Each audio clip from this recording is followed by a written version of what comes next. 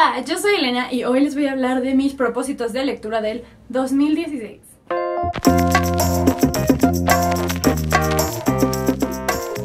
Como posiblemente sabrán, el 2015 fue un muy, muy, muy, muy mal año para mí, así que me sentí una muy mala booktuber. Así que el 2016 tengo ciertos propósitos para leer más, traerles más videos traerles más videos, traerles más contenido.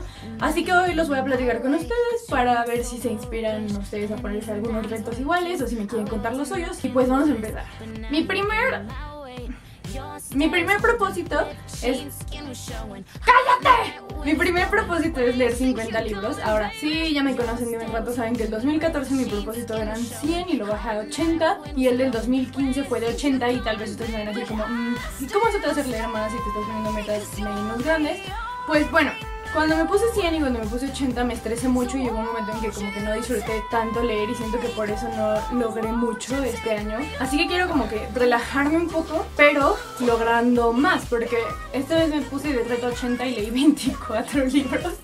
Así que, mm, ¿no? quiero leer al menos 50 y si, no sé, llega a la mitad del año y ya leí 50, tal vez me pongo otros 30 más y llegue a los 80 como siempre había planeado. Mi segundo propósito es que voy a hacer el 2016 Reading Challenge, que creo que ya en algunos videos se menciona más o menos de qué se trata porque hice el 2015 Reading Challenge, que son los de Pop Sugar, y básicamente son aproximadamente 50 retos de lectura, creo que este año son 40 y el año todos fueron 50, en el que te dicen como, lee un libro que tenga azul en la portada, cosas así, entonces como que te motiva más a leer cosas diferentes. Les voy a leer rapidísimo los retos del, del 2016 y también voy a hacer un video de cómo me fue con el del 2015 por si lo quieren ver.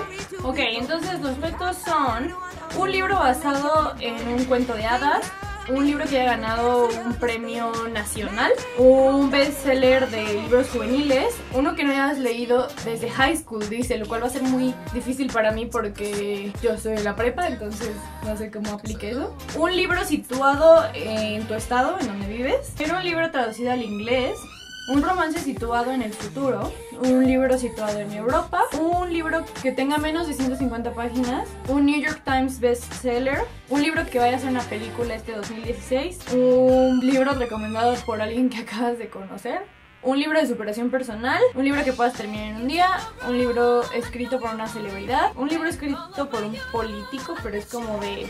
no sé cómo se llaman esos libros, no sé cómo traducir ese género. Bueno, libro que lo haya escrito un político y sea como no ficción, ya sabes. Un book, un book.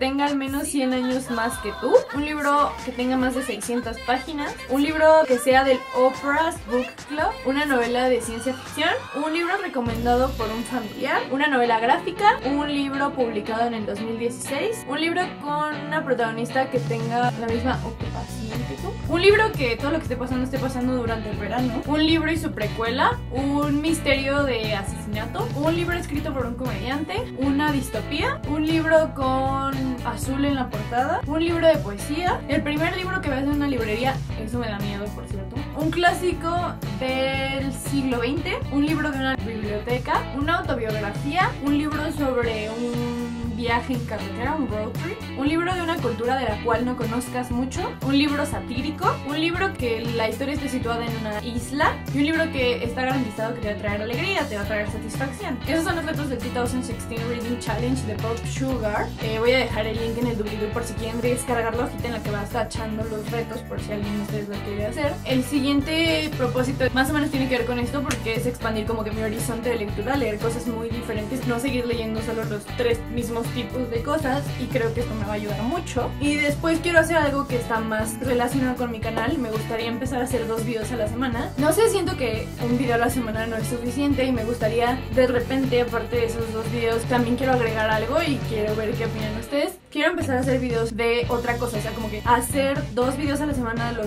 típicos de Booktube, pero de vez en cuando hacer uno de broma o no sé, hacer un tutorial de algo que me pidan ustedes o así. O sea, quiero empezar a hacer cosas más diversas, pero que sí siga siendo principalmente de libros, no sé qué opinan de eso, así que díganme. Pero además de como divertido, como enseñarles otras partes de mí, así que eso es lo que quiero hacer este año. Y pues esto fue todo por hoy, fue un video medio rápido, pero era lo único que tenía que decir. tampoco me quiero poner demasiados propósitos porque lo que quiero es realmente lograr los que ya me puse. Y luego cuando te pones muchos propósitos no logras todo lo que dices que ibas a lograr. Así que espero que les haya gustado y nos vemos en el siguiente video. Adiós.